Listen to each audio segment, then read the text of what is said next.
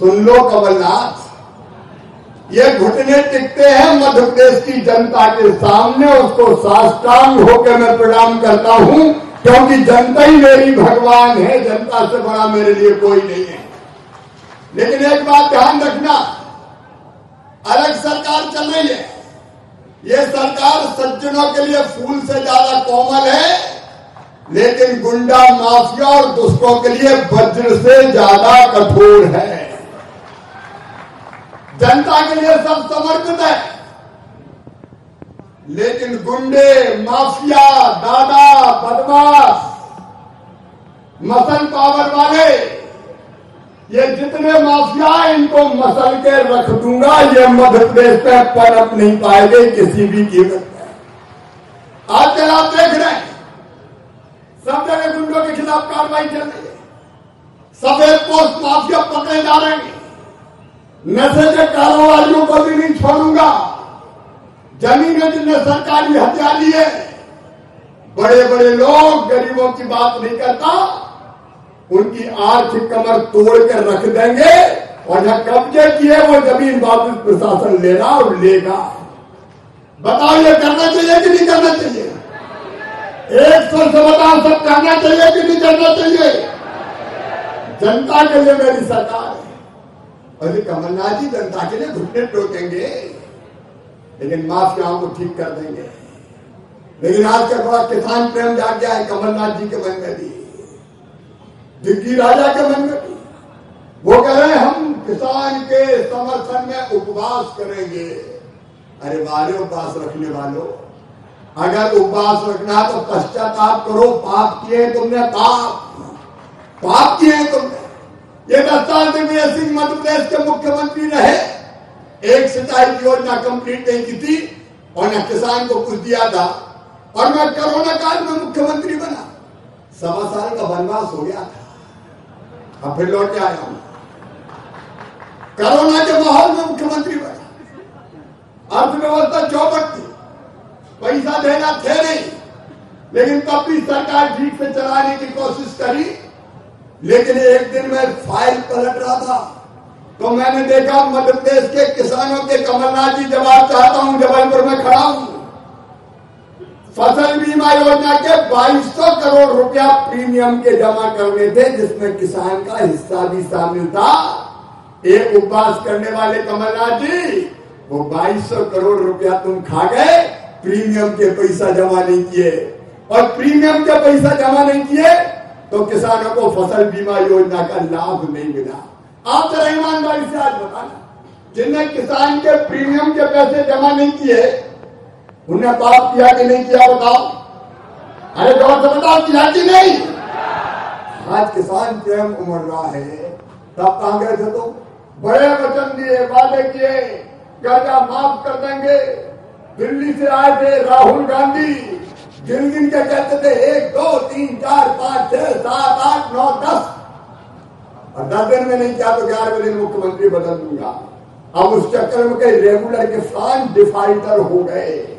ब्याज की गठरी सर पर रखी है। ये ब्याज की गठरी रखने का पाप कमलनाथ तुमने किया है। लेकिन शिवराज सिंह चौहान किसान भाइयों, ये वचन देता है कमलनाथ ने जो ब्याज की गठरी आपके सिर पर रखी है। उसको मैं किसानों के सिर से उतार के आपको दूँगा। ऊपर से लेके नीचे तक। तुमने कर्ज में डुबा दिया। ज़ीरो परसेंट ब्याज पे हम कर्जा देते थे। वो कर्जा देना बंद कर दिया। और इतना ही नहीं, हमारे यशस्वी प्रधानमंत्री श्रीमान नरेंद्र मोदी जी, उनने योजना बनाई। प्रधानमंत्री किसान सम्मान निधि फकर सिंह जी बता रहे थे। किसानों को छह हज़ार रुपया देने का फैसला किया। अब छोटा किसान हो बड़ा किसान हो एक एकड़ का हो, आधे एकड़ का हो, दो एकड़ का हो, छह हज़ार रुपया आता कमलनाथ का जवाब मांग रहा हूँ आपसे। उपवास पे बैठो तो जरा अंतरात्मा में झाँक के देखना। और जवाब देना मुझे, ये कमलनाथ दादा ने पूरी सूची नहीं भेजी दिल्ली प्रधानमंत्री के पास किसानों की क्योंकि उनको लगता था कि अगर खाते में राशि डल गई तो मोदी जी का नाम हो जाएगा। मैं आपको पूछना चाहता हूँ, किसान सम्मान निधि जिस पर तुम्हारा कुछ नहीं रखना अरे हींग लगे ना फिटकरी, रंग चढ़े चोखा देने वाले दिल्ली में बैठे। तुम्हारा क्या कर रहा था? तुमने सूची तक नहीं भेजी। आप बताओ, ये सूची नहीं भेज के कमलनाथ जी ने पाप किया कि नहीं किया? अरे ज़ोर से बताओ, किया कि नहीं किया? अब बात तो बैठो तो प्रायश्चित करो। हमने पूरी सूची बनाई कंप्लीट की। और जब मैं सूची बना रहा था, तब मेरे दिल ने कहा कि शिवराज, छह हज़ार तो प्रधानमंत्री जी दे रहे हैं, तुम भी चौथी बार बने मामा, चार हज़ार तुम भी डाल दो। तो हमने तत्काल फैसला कर दिया कि छह नहीं मध्य प्रदेश के किसानों को दस हज़ार रुपया हर साल मिलेंगे। और किसान भाइयों अलग अलग साइकिल में, हर किसान के खाते में पैसा आएँगे। आधा एकड़ ज़मीन हो तो देंगे। पाव एकड़ ज़मीन हो तो देंगे। कोई किसान नहीं छूटेगा, भाइयों। और आदिवासी भाई अगर कट्टे की ज़मीन है तो भी देंगे। हर किसान के खाते में पैसा आएगा। और ये तो अभी सब उनका है। जरा कोरोना जा रहा है। कड़की में था, जरा हालत और कुरकुरी हो जाने तो और कसर नहीं छोड़ूँगा, चिंता मत करना। अभी सोलह तारीख, अठारह तारीख के मैं पूछना चाहता हूँ, कमलनाथ जी, पिछले साल रात की राशि नहीं बांटी। अब उपास करने बैठ रहे हो। अठारह तारीख के दिन किसान भाइयों, पैंतीस लाख किसानों के खाते में जिनका फ़सलों को नुकसान हुआ था, सोलह सौ करोड़ रुपया डाले जाएँगे, सोलह सौ करोड़ रुपया। हर पंजाब में कार्यक्रमों का अध्यक्ष मेरे बैठे निर्देशित किया विधायक साथियों, आप जाओ अपने विधानसभा के विकास विकास खंड मुख्यालय में जिला में मंत्री जाए और पंचायत में भी कार्यकर्ता बैठे ये किसान कानून विवाह समझाएँगे, किसान क्रेडिट कार्ड बांटे जाएँगे। बाकी सुविधाओं का लाभ भी दिया जाएगा। किसान भाइयों, कोई कसर किसानों के कल्याण में नहीं छोड़ेंगे। और रात की राशि अलग है। फ़सल बीमा योजना का पैसा अलग मिलेगा। लेकिन अब उनको दर्द हो रहा है, जिनने किसानों को तबाह और बर्बाद करने का काम किया है। राहुल गांधी जगह नींद से। चौकीदार चोर है तो जनता ने ऐसा पछाड़ा कि आज तक उठ नहीं पाए और अब फिर कहने लगे, मोदी जी ने चोरी कर ली किसान कानून। अरे जानते हो किसान कानून है क्या? खेती के बारे में जानते हो? किसानी के बारे में जानते हो? अरे राहुल बाबा, तुमको तो ये भी पता नहीं है कि ज्वार का भुट्टा ऐसे लगता है कि ऐसे लगता है। गुड़ गन्ने से बनता है कि मशीन में से निकलता है। और तुम हमें खेती की बात बता रहे हो। गाँव देखे नहीं, गाँव की गलियाँ देखी नहीं, खेत देखे नहीं, खेत की पगड़ियाँ देखी नहीं, कीचड़ देखी नहीं धूल देखी नहीं। तुम खेती की बात करोगे? मेरे बहन और भाइयों, आज विरोध हो रहा है मोदी भ्रम फैलाया जा रहा है। झूठी अफवाहें फैली जा रही है।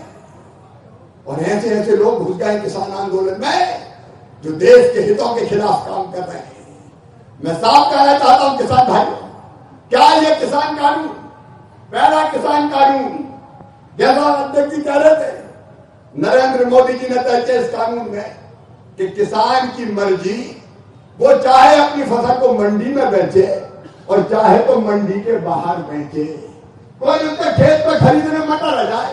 अब मेरी मर्ज़ी, अगर अच्छा रेट मिल रहा है मुझे मटर का तो बताओ मुझे खेत में बेचने का अधिकार होना चाहिए कि नहीं होना चाहिए? अरे ज़ोर से बताओ, होना चाहिए कि नहीं होना चाहिए? और कोई पकड़ के नहीं मंडी में जाओ, अभी था? मंडी में जाओ। मंडी के बाहर अगर बेच दिया तो ये बिक्री अवैध होगी। व्यापारी पकड़ लिया जाएगा। मंडी टैक्स की चोरी का आरोप लगेगा। अब ये कानून कहता है। मंडी में जाना है तो मंडी में जाओ। और कोई व्यापारी आ गया मेरे पास, घर बैठे आ गया। और घर आके कहा कि तुम्हारी धान में तीन हज़ार रुपया मैं खरीदूँगा। तो मैं घर से क्यों ना बैठू बताओ मुझे अधिकार होना चाहिए कि नहीं होना चाहिए? घर में बेचू, खेत में बेचू, कोई फ़ूड प्रोसेसर आए और अगर वो कहे, मेरे कारखाने पे मैं ले रहा हूँ, मैं उसको बेच दूँ कोई एक्सपोर्ट करने वाला आए मैं उसको बेच, मेरी मर्ज़ी में जिसको चाहूँ बेचूं, कोई हाउस में खरीद ले, कोई और बीच में लाइसेंस देकर कांटा लगा के खरीद ले, तुम्हें तकलीफ़ क्या और दिक्कत क्या है? मंडी चालू रहेगी। ये भ्रम फैलाने की कोशिश हो रही है कि मंडी बंद हो जाएगी। शिवराज सिंह चौहान आपसे कह रहा है, कोई ताकत मंडी बंद नहीं कर सकती, मंडी चालू रहेंगी। मंडी चालू रहेंगी। मंडी में अच्छा लगता, मंडी में मैं तो लेकिन भैया मंडी में लाए लगी दो दो, चार चार दिन। और उठाया और ऐसे ऐसे उछाला और काल भाव, हम नहीं बेचना मंडी में। मुझे घर बेचना है। तो तुम दाल भात में मुसलजन क्यों होते हो? कौन होते हो? अरे कहीं बैठे किसान। अपनी मर्ज़ी का मालिक किसान को बनाया है। और इस बिल ने कि तुम्हारी मर्ज़ी जहाँ चाहो बैठो गाँव में, खेत में, फैक्ट्री पे, राज्य में, राज्य के बाहर। किसान अपनी मर्ज़ी का मालिक है, उसको कोई नहीं रोक सकता।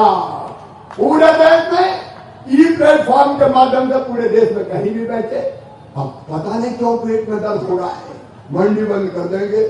एक नेता कहले कांग्रेस के मंडी का काम ठप हो गया, आय घट गई। अरे आय काय में घट गई? हमने भारतीय जनता पार्टी की सरकार ने एक रुपया सत्तर पैसा मंडी टैक्स करता था घटा के कर दिया, अठन्नी। तो घट गई आए अरे किसान के भले के लिए दिया हमने मंडी टैक्स घटा दिया। घटा दिया हमने तो मंडी की आय घटेगी। किसान की जेब काट के हमें आय नहीं बढ़ानी, बहनों और भाइयों। और ये पहला कानून ये, फिर समझ लेना। अभी तक जब तक ये कानून नहीं था, कहीं मंडी के अलावा किसान बेच नहीं सकता था। अब वो स्वतंत्र है, कहीं भी बेचे। बताओ ये कानून अच्छा है कि नहीं? पीछे तक दाएँ बाएँ से बताओ अच्छा है कि नहीं? और गौर से बताओ अच्छा है कि नहीं? मोदी जी ने अच्छा किया कि बुरा किया? अब ये पहला कानून हम कहीं भी बैठे और दूसरा कानून सुन लो भैया, मटर बोते समय, अगर कोई कंपनी, अगर कोई प्राइवेट कॉन्ट्रैक्टर आपके पास आता और कहता कि मैं इतने रुपया तुम्हारी मटर खरीदूँगा बोनी के समय अगर आपको भाव पता चल जाए और आप समझौता कर लें आज तो जुआ है। जब बोया तो पता चला, सोयाबीन पाँच हज़ार रुपया कुंटल, और जब कट के घर आया तो पता चला, दो हज़ार रुपया कुंटल। किसान ठगा जाता है, लेकिन बोते समय पता चल जाए कि मुझे ये भाव मिलेगा, और व्यापारी से कांटेक्ट करके किसान अपनी फ़सल बेच दे। उसको ये विश्वास है कि मुझे अच्छी कीमत मिल रही है।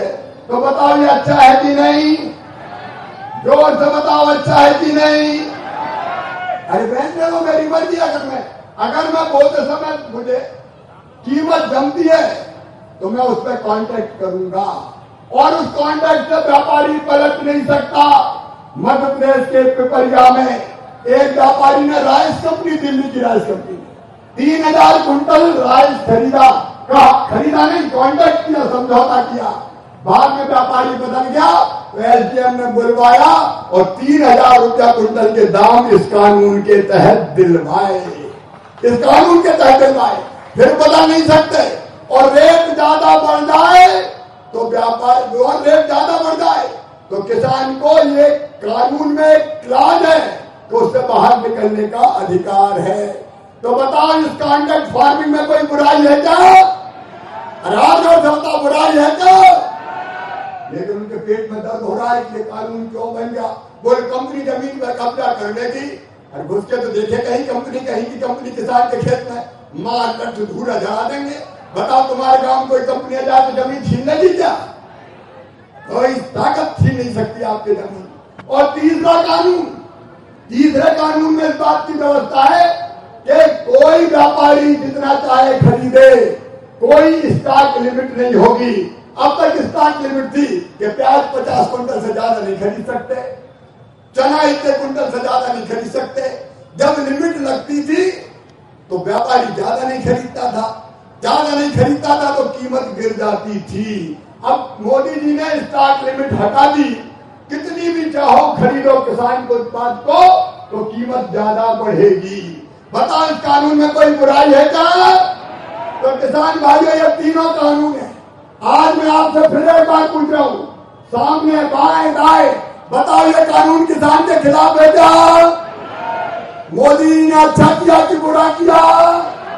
तो आओ हम संकल्प लें कि मोदी जी मध्य प्रदेश के किसान आपके साथ खड़े जबलपुर के किसान आपके साथ खड़े महाकौशल के किसान आपके साथ खड़े अपने अपनी जगह खड़े होके, अपनी अपनी जगह खड़े होके, दोनों हाथ ऊपर उठा के और मीडिया वालों हमारी सूरत रहा है? यार, किसानों को दिखाओ। जरा उधर फेर लो। उधर वो कर लो अपने कैमरे का। ये हज़ार हज़ार किसान खड़े दोनों हाथ ऊपर उठा के चल कि किसान कानून अच्छे हैं कि बुरे हैं हम किसान कानूनों के साथ हैं तो मेरे साथ नारा लगाइए मोदी जी आगे बढ़ो मोदी जी कानून लागू करो मोदी जी कानून